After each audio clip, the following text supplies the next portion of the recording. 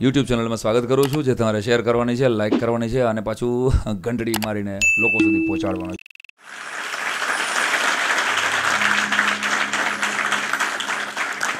Smile Ram નિહાળતા સર્વે દર્શકોનું ફરી એકવાર સાંઈરામ દવે સ્વાગત કરું છું.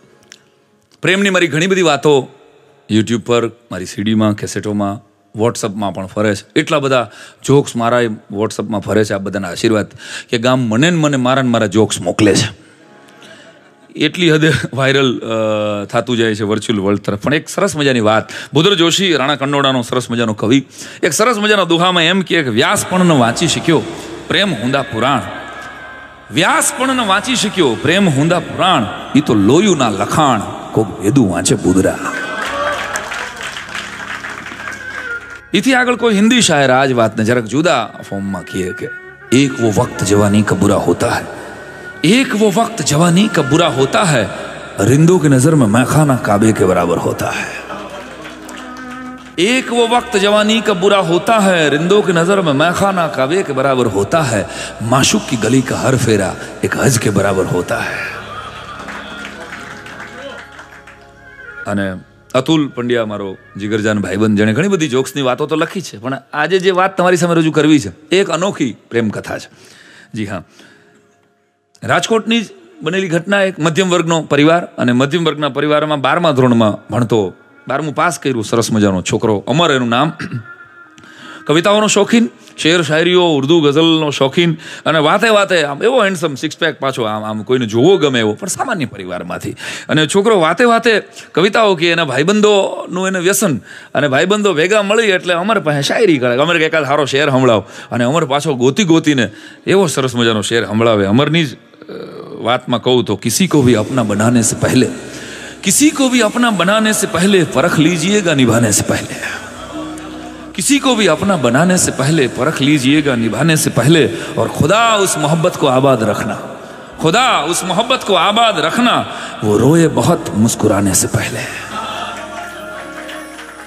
वो रोए बहुत मुस्कुराने से पहले और गिरेबा अपना, जरा झाँक लेना, गिरेबा अपना जरा झांक लेना किसी पे भी उंगली उठाने से पहले એક આંગળી જ્યારે હામી કરો છો ને ત્યારે ત્રણ તમારી સામે હોય છે એટલે આપણી કરુણતા છે મારા પિતાશ્રી એક વાક્ય મને કાયમ કહે કે બેટા આપણે નિંદા ઉપર કલાકો બોલી શકીએ છીએ પણ પ્રશંસા ઉપર પાંચ મિનિટ ટકી નથી શકતા છે આપણી કરુણતા એટલે गिरेबा अपना जरा जांक लेना किसी पे भी उंगली उठाने से पहले और बहक जाएगा पी के एजाज देखो एजाज कमरनो आ शेर बहक जाएगा पी के एजाज देखो जरा सोच लेना पिलाने से पहले जरा सोच लेना तो બરાબર બનેલી ઘટના કહું કે છોકરાને એડમિશન મળ્યું શહેરની રાજકોટની ગીતાંજલિ જેવી સરસ મજાની કોલેજ પોતાના સપનાની કોલેજ આ કોલેજમાં એડમિશન આપણે લેવું છે અને નક્કી જો પહેલો દિવસ છે તૈયાર થઈ જાય છોકરો ઘટમાં ઘોડા થનગને ને આતમ વિંજે પાંખ અણદી ઠેલી ભૂમ પર આજ યવન માંડે આંખ સવારમાં સાડા પાંચ વાગ્યામાં ઉઠી ગયો આજ તો પહેલો દિવસ છે કોલેજનો યાર. સાડા સાતની કોલેજ હતી.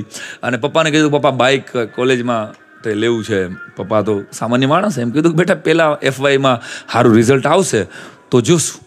શરતોને આધીન. કાંઈ સીધું તો મળી ન જાય. સાયકલ લેતો જા. સરસ છે. મારા જમાનાની હજી પડી છે. પણ કોલેજમાં જવું અને સાયકલ લઈને જવું તો પોઝિશનમાં પંચર પડે. સાદા ચપ્પલ પહેર્યા, જીન્સ ટી શર્ટ પહેરીને વાત કહેતા વાર લાગે, ટૂંકામાં વાત કરું. એ છોકરો સવારના પોરમાં હાલતો થયો. થોકબંધ સપનાઓ, પહેલો દિવસ કોલેજનો, જિંદગીનો, અને નીકળતો ગયો. એમાં શોર્ટકટ હતો ચંદ્રદીપ સોસાયટી પાસેનો. એટલે નક્કી કર્યું ચંદ્રદીપ સોસાયટી હાલીને વયો જાઓ સાડા છ વાગે ધીમો ધીમો ધીમો હાલતો થયો. પોણા સાત બરાબર થયા હશે. ચંદ્રદીપ સોસાયટી સરસ મજાનો એક બંગલો દૂરથી જોયો. કોઈક મોટા માણસનો હશે.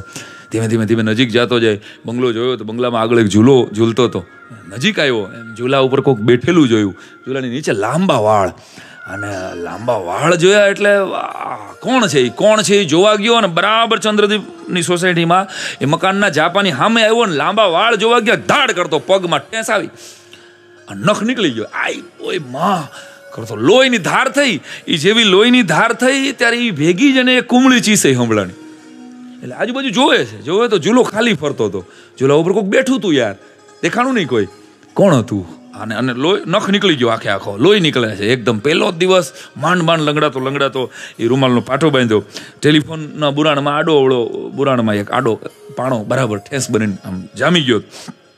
પણ કુમળી ચીઝ કોની હતી? મારી હારે કોઈક ચીઝ એક અવાજ છોકરીનો આવ્યો. આજુબાજુમાં કોઈ હતું નહીં. ઘર બીજા બંધ હતા. કોલેજમાં ગયો, કાંઈ મજા ના આવી અને પહેલો દિવસ મગજમાં કુમળી ચીસ, મગજ, કોણ હતું યાર?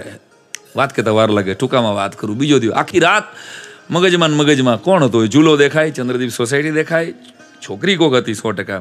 બીજો દિવસ સવારના પોરમાં મમ્મીએ કીધું બેટા, આ પગમાં લાગ્યું છે, તો રિક્ષા કરી લે. રિક્ષામાં બેઠો, પચાસ રૂપિયા વધારે દીધા. રિક્ષાવાળાને કીધું ચંદ્રદીપ સોસાયટીની આ બાજુ મને ઉતારી દેજો.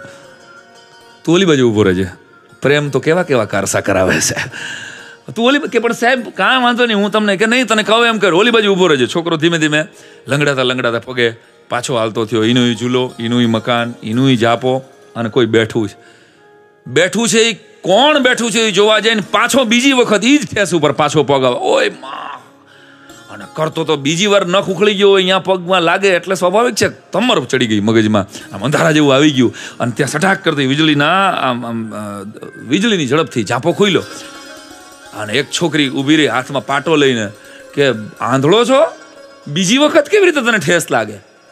એટલે કાલનો તાળો મળી ગયો ઠીક, આ પહેલી વખત ઠેસ લાગી ત્યારે અવાજ આનો જ હતો. પણ આલે પાટો બાંધી લે, આટલું કીધું, પણ સ્ટેચ્યુ થઈ ગયો હતો. અમારો તો આ છોકરી, પીના વાળ, લાંબા વાળ આમ ઠેઠ કમરથી નીચે લટકતા વાળ જોયા, જાણે આમ, રમેશ પારેખની કવિતામાં આવતી સોનલ જેવી છોકરી. જાણે આમ ખળખળતા ઝરણા જેવી છોકરી, જાણે ઉગતી સવાર જેવી છોકરી, જાણે ખીલતા ગુલાબ જેવી છોકરી, કે જાણે નવાબના રોવાબ જેવી છોકરી.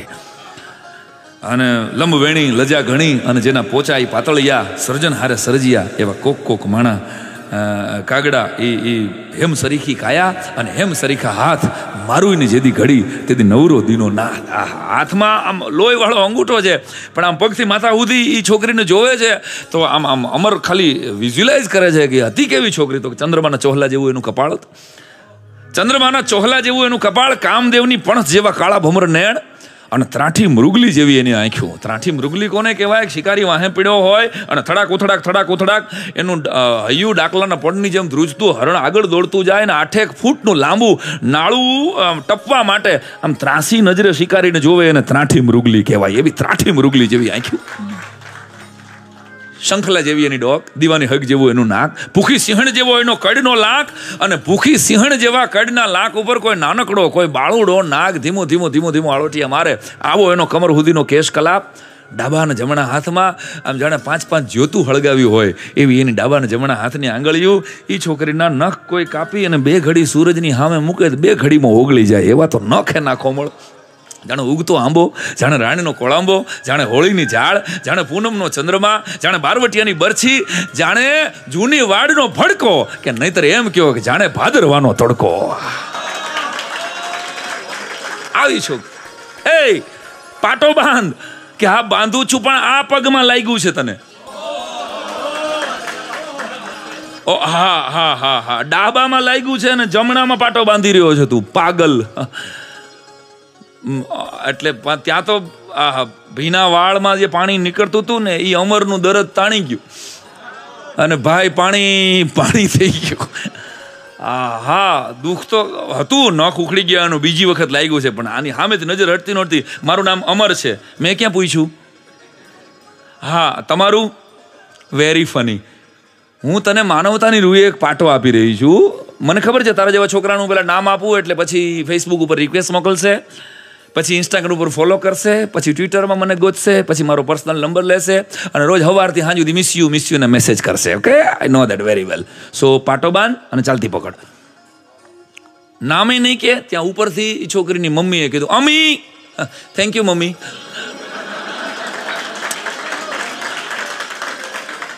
વાત હવે શરૂ થાય છે, સાહેબ. છોકરી તો ગઈ ફાટ કરતી દરવાજો, આમ આમ ખેંચીને ઘા કર્યો. પણ જાણે હરદ્વારના પગથિયા ઉપરથી ગંગો, ગંગાજી અલગોઠિયા મારીને ઉતરી જાય એમ ગઈ. જાણે મહારાણા પ્રતાપના હાથમાંથી ભાલો કઠ ઠઠક ઠ કરતો, કોઈ દુશ્મનની છાતી ચીરી નાખે એમ ગઈ. જાણે અર્જુનના ભાથામાંથી તીર નીકળે અને કરણની છાતી ચીરી નાખે એમ ગઈ. જાણે કોઈ વહરા માણાના મોઢામાંથી વેણ નીકળે એમ ગઈ કે જાણે કોઈ લોભિયા માણાના હાથમાંથી ધન નીકળે એવી રીતે ગઈ.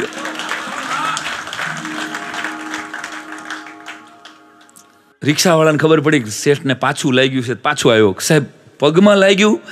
તો ક્યાં લાગ્યું એ ખબર નથી ભાઈ લાગ્યું છે પગમાં, પણ વ્યાપ્યું છે રોમે રોમમાં. ત્રીજો દિવસ ટૂંકમાં વાત કરું, સવારનો પોર. સાડા છ વાગ્યામાં તૈયાર થઈ ગયો. અને એકદમ પગમાં દુખે છે. બીજી વાર પાટો બાંધ્યો છે, એટલે મમ્મી ચા બનાવતા કીધું, બેટા, તું જુવાન થઈ ગયો હવે. તો કે, કેમ મમ્મી? એવું કે તો કે, કોલેજે જાય છે? તો કે, હા, મમ્મી, કોલેજનો ટાઈમ થઈ ગયો. એ કે, આજે રવિવાર છે. એકચ્યુઅલી મમ્મી વોકિંગ કરવા જાઉં છું હું. અચ્છા. મારા ફ્રેન્ડ્સ મને બાઇક ઉપર વોકિંગ કરાવશે. અચ્છા બેટા હું તારી માં છું. અને તને મોટો કર્યો છે. મને બધી ખબર છે. સારું બાઇક ઉપર વોકિંગ કરનારો તું પહેલો રાજકોટિયા નહીશ સારું ચોથો દિવસ વાત કહેતા વાર લાગે. નજર ઢળી નજર મળી ખાલી. છોકરી ઝૂલા ઉપર બેઠી છે. નયન પદાર્થ. નયન રસ અને નૈણા નયન ઠરંત. અણજાણ્યા શું પ્રીતડી પ્રથમ નૈના કરંત. અમી પણ જગજીતસિંહની ગઝલ ગાતી હોય, સાંભળતી હોય, સરસ મજાનો અવાજ આવતી હોય ગઝલ તો મારા તમારા બધાના હૈયામાં જ. હોઠો સે છૂલો તું. મેરા ગીત અમર કર. એક કડી મારી યાર ગાવ તમારી જુવાનીને યાદ કરીને. હોઠો સે छू लो तुम। मेरा गीत अमर कर बन जाओ मीत मेरे। मेरी प्रीत अमर कर। ओटों से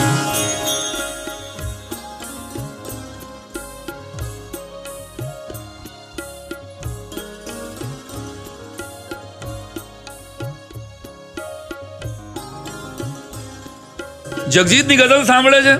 અમી પણ બેઠી બેઠી ખાલી નજર મળે છે અમર સાર પાંચમો દિવસ. પછી તો પાંચમા દિવસે જે ઠેસ હતી એને અમર પગે લાગવા માંડ્યો. ખાલી ઉતરે અને પગે લાગે. આ જાણે ભગવાનના મંદિરમાં આવતો હોય ને હા હા વાહ વાહ કારણ કે આ ઠેસ જિંદગીમાં કામ કરી ગઈ. માણેક તમને જાણે પગ અડાડતો હોય ને. એમ પાટાવાળો પગ, લોહીવાળો પગ પડે. માણેક તમને અડાડતો હોય એમ. ઈનો ઈજા અને પાંચમા દિવસે સવારના પોરમાં આ જાણે પગે લાગી ગયો ને ભેગી છો, અમી પાછી બાર. હે, ઊભો રહેતો. વોટ ડુ મીન કે કેમ? શું પ્રોબ્લેમ છે? શું કર્યું ત્યાં તો કે હું પગે લાગુ કે એને પાણાને પગે શું કામ લાગે તો કે તારા માટે પાણો છે. મારા માટે તો પ્રેમનો દેવતા છે. ઓય mister Majnu don't be crazy okay અને ત્યારે બરાબર અમર પણ શાયરી કરતો હોય ને અમી કવિતાની શોખીન હોય અમારે એક સરસ શેર ફેંક્યો કે હરગીઝ ગલત નિગાહ સે દેખા ન કર મુજે હરગીઝ ગલત નિગાહ સે દેખા ન કર મુજે મેં તેરા હો ચુકા હું પરખા ન કર મુજે હરગીઝ ગલત નિગાહ સે દેખા ન કર મુજે मैं તેરા હો ચુકા હું પરખા ન કર મુજે तन्हाइयों में બેઠ કર तन्हा ન કર મુજે तन्हाइयों में બેઠ કર तन्हा ન કર મુજે मैं ઘૂટ કે મર ન જાઉં ऐसा न कर मुझे। मैं घुट के मर न जाऊँ। हाँ मैं हम ही ना जवाब आप ऐसे तुम मुझको भूल जाए, मुझे उसका गम नहीं। तुम मुझको भूल जाए, मुझे उसका गम नहीं। लेकिन खुदा के वास्ते रुसवा न कर मुझे।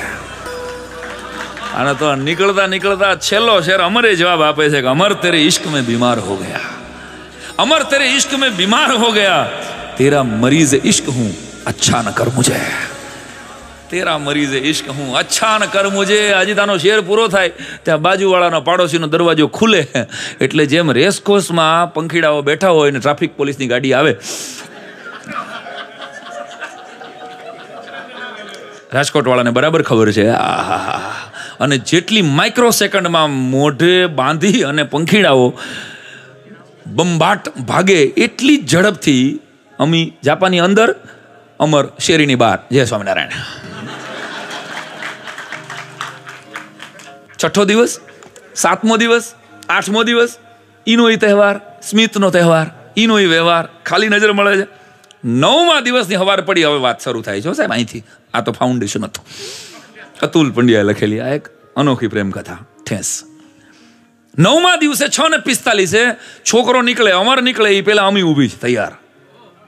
આને આને અહીંયામાં એમ થયું ભાઈ ભાઈ નવમાં નોરતા, કાલ દશેરા. પતી ગયું. લાગી ગયું તીર. પાણાને પકડીને આ તો એવું વિચારતો વિચારતો જરીક જરીક જરીક નજીક આવતો જાય.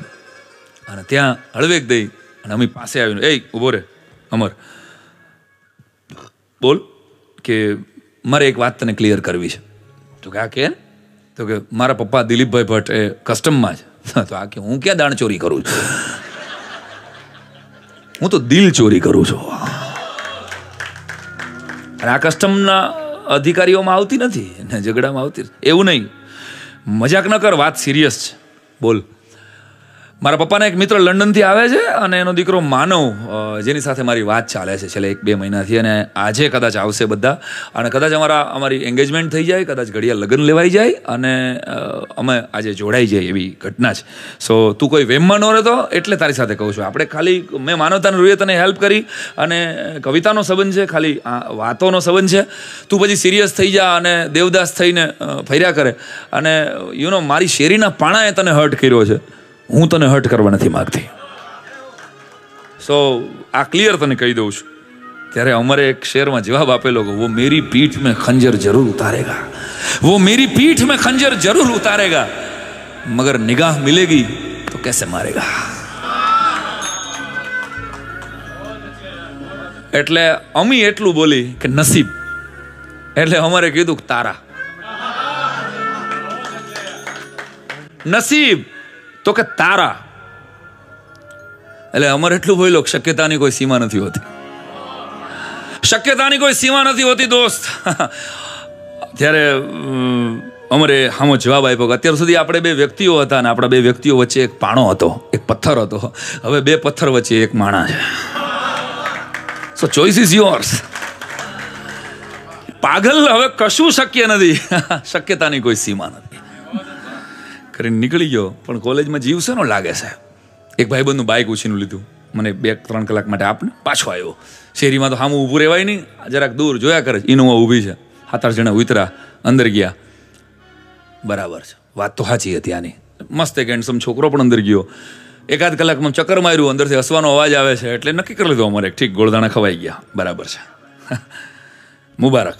અને પછી ઘટના એ થઈ કે દસ પંદર મિનિટ, વીસ મિનિટ, પચીસ મિનિટ બે અઢી કલાક પછી રાહ જોઈને દૂર આમ ખોટો ખોટો પ્લગ સાફ કરવાનું બાનું કરી અને હોંડાવાળો આડું હોંડા રાખીને અમર બેઠો છે. કોઈને ખબર ન પડે એમ.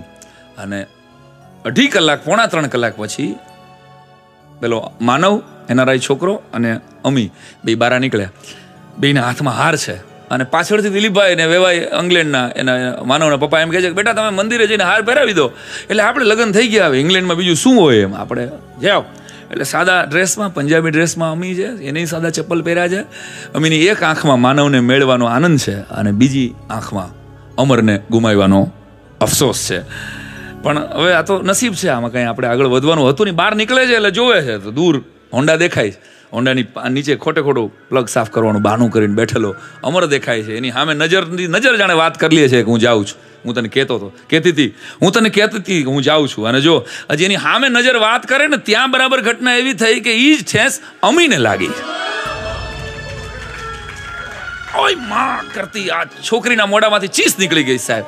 અને છોકરીના મોઢામાંથી ચીસ નીકળે, એનો નખ નીકળે, અને નખમાંથી લોહી નીકળે એ ભેગો પેલો માનવ એટલું બોલે કે નોનસેન્સ તારી શેરીમાં ચાલતા તને નથી આવડતું. તારી શેરીમાં ચાલતા તને નથી આવડતું? આટલા શબ્દો બોલે એ ભેગો અમરમાંથી ઊભો થાય દોડી અને પોતાનો જે રૂમાલ હતો એ રૂમાલ દોડી અને અમીના અંગૂઠા ઉપર જેવું આમ કરીને બાંધી દે. અને માઇક્રો સેકન્ડમાં જેમ કોઈ આપઘાત કરવા જતો હોયની માણસનો હાથ પકડીને કોક એને ખેંચી લે ટ્રેન નીકળી જાય. ટેક ઓફ માટે પ્લેન બરાબર ઉડતું હોય અને પાળી પાસેથી પાયલોટ પ્લેનને ફટ કરતું. ઊંચું કરી લે કે આખે આખું મોટું ટાઇટેનિક હિમશિલા સાથે ભટકાતા પહેલાં હોકા યંત્રની જેમ નજરથી મારીને ફેરવી નાખે. એમ અમીના હાથની વરમાળા સીધે સીધી ગઈ અમરના માથા વાસે કોઈને પૂછવાનો રોકાણી આ છોકરી? જેમ જાનકીએ રામને પસંદ કર્યા જેમ સંયુક્તાએ પૃથ્વીરાજને પસંદ કર્યા, જેમ દ્રૌપદીએ પાર્થને પસંદ કર્યો. માઇક્રો સેકન્ડમાં દિલીપભાઈ દોડીને પૂછે છે બેટા, શું કર્યું તે? પપ્પા, બરાબર કર્યું. તો કે, કેમ?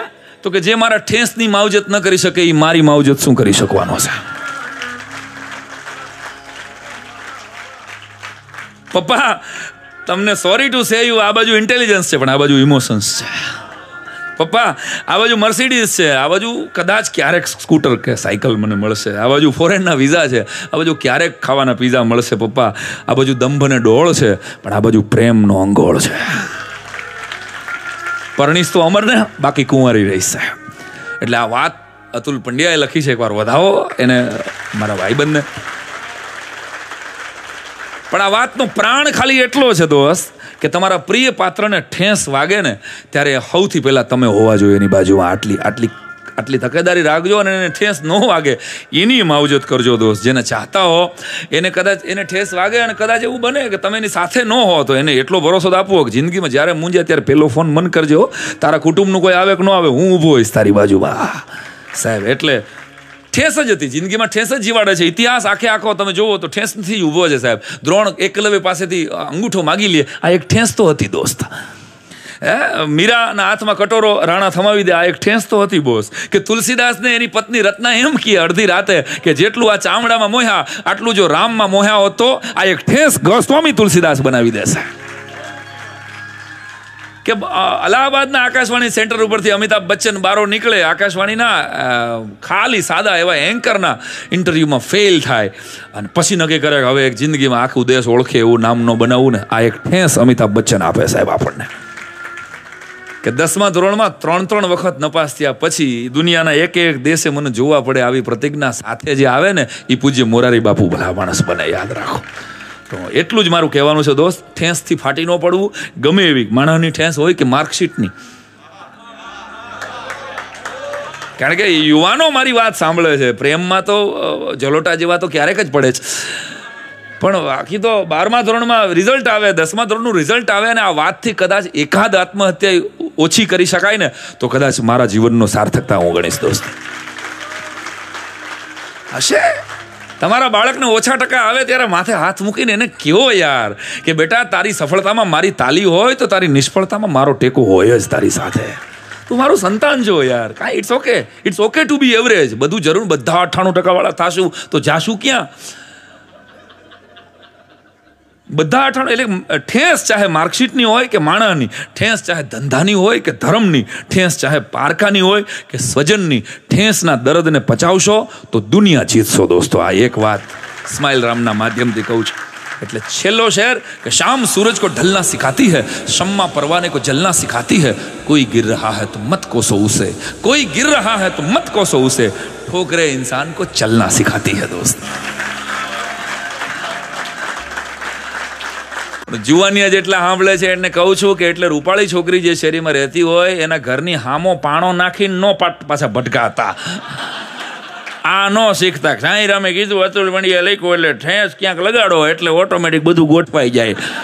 ગુજરી જાશો, એમ પાણા શેરીએ શેરીએ રોકવા જાશો ને, તો એ દિલીપભાઈ ભટ્ટ, એ જેવા બાપુજી પાણે પાણે તમને જ કૂટી નાખશે. જય માતાજી.